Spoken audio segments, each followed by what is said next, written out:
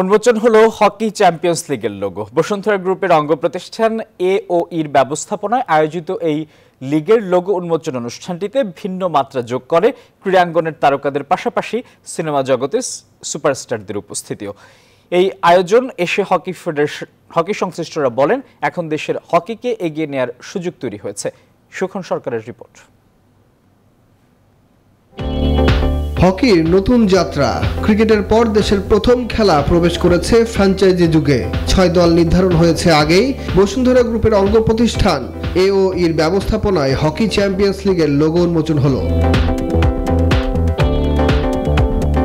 অনুষ্ঠান আয়োজনেও ছিল ভিন্নতা। হকির নতুন যাত্রায় অনুপ্রেরণা জোগাতে উপস্থিত ছিলেন ক্রিকেটার মাহমুদুল্লাহ রিয়াদ, সোহান, আর্চার রোমান সানা ও চিত্রনায়িকা নাজিফা তুষি ওয়ার্ল্ড র্যাঙ্কিংয়ে হকিতে সাতাশ নম্বর পজিশনে আছি। তো আমাদের খুব বড় একটা সুযোগ আছে ওয়ার্ল্ড কাপে পার্টিসিপেট করা তো অবশ্যই আশা করব যাতে এরকম ফ্র্যাঞ্চাইজি টুর্নামেন্টের মাধ্যমে অনেক উদীয়মান প্লেয়ার বের হয়ে আসুক এবং আমরা হকিতে ওয়ার্ল্ড কাপ ওয়ার্ল্ড কাপে পার্টিসিপেট করতে পারি। যদি আমরা প্রপার সাপোর্ট করি এবং প্রপার টিমরা ওদেরকে নিয়ে প্ল্যান করে আমার মনে হয় যে এটা সামনে খুব ভালো I hope inshallah it's just a start again for hockey এবং ইনশাল্লাহ it gonna take it, its prime inshallah. জাতীয় হকি দলের কোচ গভীরাথন বললেন নতুন পথে নতুন যাত্রায় সফল হবে বাংলাদেশ।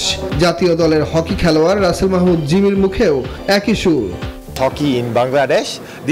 আমরা জানি বাংলাদেশের হকির ভবিষ্যৎ খুবই ভালো তবে দরকার নিখুঁত পরিকল্পনা আর সেটি শুরু হয়েছে। আমি বিশ্বাস করি এদেশের হকি এগিয়ে যাবে দুরন্ত গতিতে। Go.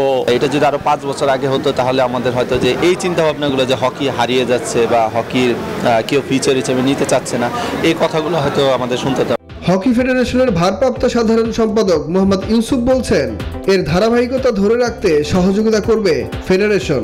এইসের সাথে যে চুক্তি করেছি সেই চুক্তি অনুযায়ী আমাদের তারা পাঁচ বছর আমাদেরকে এই টুর্নামেন্টকে পাঁচ বছর কন্টিনিউ করবে। যেভাবে আমরা পরিকল্পনা এগিয়ে যাচ্ছি। কোনো ফ্র্যাঞ্চাইজি যেন ডিপ্রাইভ না হয় কোনো দিক দিয়ে না খেলোয়াড়ের দিক দিয়ে না টাকা পয়সার দিক দিয়ে কোনো দিক দিয়ে। আমরা কিন্তু সব কিছু সিলিং করে দিয়েছি। ছয় দল নিয়ে হকি চ্যাম্পিয়ন্স লিগ মাঠে গড়াবে আঠাশ অক্টোবর। ফাইনাল ম্যাচের মধ্য দিয়ে পর্দা নামবে সতেরো November.